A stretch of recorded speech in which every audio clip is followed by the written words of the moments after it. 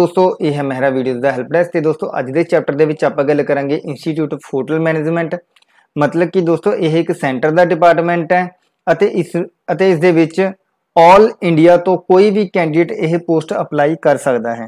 ਦੋਸਤੋ, ਇਸ ਦੇ ਵਿੱਚ ਦੋ ਤਰ੍ਹਾਂ ਦੀਆਂ ਪੋਸਟਾਂ ਹਨ। ਪਹਿਲੀ ਜੋ ਪੋਸਟ ਹੈ, ਉਹ ਹੈ assistant lecturer cum assistant instructor ਅਤੇ ਜੋ ਦੂਸਰੀ ਪੋਸਟ ਹੈ, ਉਹ ਹੈ ਲੋਅਰ ਡਿਵੀਜ਼ਨ ਕਲਰਕ ਦੀ ਪੋਸਟ। ਦੋਸਤੋ, ਸਭ ਤੋਂ ਪਹਿਲਾਂ ਆਪਾਂ ਗੱਲ ਕਰੀਏ assistant lecturer cum assistant instructor ਤਾਂ ਦੋਸਤੋ, ਇਸ ਦੀਆਂ, ਇਸ ਦੇ ਵਿੱਚ ਟੋਟਲ 4 ਪੋਸਟਾਂ ਹਨ, ਜਿਸ ਦੇ ਵਿੱਚ ਇੱਕ ਪੋਸਟ ਪੀਐਚ ਮਤਲਬ ਕਿ ਫਿਜ਼ੀਕਲ ਹੈਂਡੀਕੈਪਡ ਦੀ ਪੋਸਟ ਹੈ ਅਤੇ ਇੱਕ ਪੋਸਟ ਓਬੀਸੀ ਕੈਂਡੀਡੇਟ ਅਤੇ ਦੋ ਪੋਸਟਾਂ ਅਨਰਿਜ਼ਰਵਡ ਮਤਲਬ ਕਿ ਜਨਰਲ ਕੈਟਾਗਰੀ ਦੀਆਂ ਹਨ।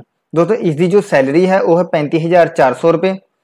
ਮਤਲਬ ਕਿ ਕੈਂਡੀਡੇਟ ਦੀ ਜੋ ਘੱਟੋ ਸੌਰੀ ਬੇਸਿਕ ਸੈਲਰੀ ਹੋਏਗੀ, ਉਹ ਹੋਏਗੀ 35400 ਰੁਪਏ ਅਤੇ ਉਸ ਨੂੰ ਜੋ ਸਾਰੇ ਖਰਚੇ ਵਰਚੇ ਮਿਲਾ ਕੇ ਜੋ ਸੈਲਰੀ ਮਿਲੇਗੀ, ਉਹ ਮਿਲੇਗੀ 112400 ਰੁਪਏ। ਅਤੇ ਕੈਂਡੀਡੇਟ ਦੀ ਜੋ ਵੱਧ ਵੱਧ ਉਮਰ ਹੱਦ ਹੋਣੀ ਚਾਹੀਦੀ ਹੈ, ਉਹ ਹੋਣੀ ਚਾਹੀਦੀ ਹੈ 35 ਸਾਲ। ਅਤੇ ਇਸ ਦੇ ਵਿੱਚ ਸਰਕਾਰ ਦੇ ਰੂਲਾਂ ਮੁਤਾਬਕ OBC ਅਤੇ PH ਕੈਂਡੀਡੇਟ ਨੂੰ ਉਮਰ ਦੇ ਵਿੱਚ ਛੋਟ ਵੀ ਹੈ। ਤੇ ਦੋਸਤੋ, ਇਸ ਤੋਂ ਬਾਅਦ ਦੋਸਤੋ, ਆਪਾਂ ਪੂਰੀ ਇਸ ਦੇ ਬਾਰੇ ਡਿਟੇਲ ਦੇ ਵਿੱਚ ਜਾਣਾਂਗੇ। ਪਰ ਇਸ ਤੋਂ ਪਹਿਲਾਂ ਜੇ ਆਪਾਂ ਗੱਲ ਕਰੀਏ ਦੂਸਰੀ ਪੋਸਟ ਦੀ, ਜੋ ਹੈ ਲੋਅਰ ਡਿਵੀਜ਼ਨ ਕਲਰਕ ਦੀ ਪੋਸਟ, ਤਾਂ ਇਸ ਦੀਆਂ ਇਸ ਦੇ ਵਿੱਚ ਟੋਟਲ 4 ਪੋਸਟਾਂ ਹਨ। ਇਸ ਦੇ ਵਿੱਚ ਇੱਕ ਪੋਸਟ EBS ਕੈਟਾਗਰੀ ਦੀ ਹੈ ਇੱਕ ਪੋਸਟ OBC ਦੀ ਅਤੇ ਇੱਕ ਪੋਸਟ ਅਨਰਿਜ਼ਰਵਡ ਮਤਲਬ ਕਿ ਜਨਰਲ ਕੈਟਾਗਰੀ ਦੀ ਹੈ। ਦੋਸਤੋ ਇਸ ਦੀ ਜੋ ਬੇਸਿਕ ਸੈਲਰੀ ਹੈ, ਉਹ ਹੈ 19000 19900 ਰੁਪਏ। ਮਤਲਬ ਕਿ ਕੈਂਡੀਡੇਟ ਨੂੰ ਜੋ ਬੇਸਿਕ ਸੈਲਰੀ ਮਿਲੇਗੀ, ਉਹ ਮਿਲੇਗੀ 19900 ਰੁਪਏ। ਅਤੇ ਕੈਂਡੀਡੇਟ ਨੂੰ ਸਾਰੇ ਖਰਚੇ ਵਰਚੇ ਮਿਲਾ ਕੇ ਜੋ ਸੈਲਰੀ ਮਿਲੇਗੀ, ਉਹ ਮਿਲੇਗੀ 63200 ਰੁਪਏ। ਅਤੇ ਕੈਂਡੀਡੇਟ ਦੀ ਜੋ ਉਮਰ ਹੱਦ ਹੋਣੀ ਚਾਹੀਦੀ ਹੈ, ਉਹ ਹੋਣੀ ਚਾਹੀਦੀ ਹੈ ਵੱਧੋ ਵੱਧ 28 ਸਾਲ। ਅਤੇ ਇਸ ਦੇ ਵਿੱਚ ਸਰਕਾਰ ਦੇ ਰੂਲਾਂ ਮੁਤਾਬਕ OBC ਕੈਂਡੀਡੇਟ ਨੂੰ ਉਮਰ ਹੱਦ ਦੇ ਵਿੱਚ ਛੋਟ ਵੀ ਹੈ। ਅਤੇ ਦੋਸਤੋ ਇਸ ਦੀ ਜੋ ਪੂਰੀ ਜਾਣਕਾਰੀ ਹੈ, ਮਤਲਬ ਕਿ ਲੋਅਰ ਡਿਵੀਜ਼ਨ ਕਲਰਕ ਅਤੇ ਅਸਿਸਟੈਂਟ ਲੈਕਚਰਰ ਦੋਸਤੋ ਅਸਿਸਟੈਂਟ ਲੈਕਚਰਰ ਦੀ ਵੀ ਮੈਂ ਤੁਹਾਨੂੰ ਪੂਰੀ ਡਿਟੇਲ ਦੱਸਦਾ, ਪਰ ਇਸ ਤੋਂ ਪਹਿਲਾਂ ਜੇ ਆਪਾਂ ਗੱਲ ਕਰੀਏ ਲੋਅਰ ਡਿਵੀਜ਼ਨ ਕਲਰਕ ਦੀ, ਤਾਂ ਲੋਅਰ ਡਿਵੀਜ਼ਨ ਕਲਰਕ ਦੀ ਪੋਸਟ ਦੇ ਲਈ ਕੈਂਡੀਡੇਟ ਘੱਟੋ ਘੱਟ 12ਵੀਂ ਪਾਸ ਹੋਵੇ ਅਤੇ ਉਸ ਨੂੰ ਕੰਪਿਊਟਰ ਜ਼ਰੂਰ ਆਉਂਦਾ ਹੋਵੇ।